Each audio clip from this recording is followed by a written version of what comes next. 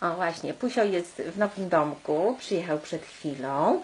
Tutaj jest pierwsze czesanie, no widać chyba jest zadowolony bardzo. Tak, no. no tak, żeby panciuś mógł go wyczesać. Tak.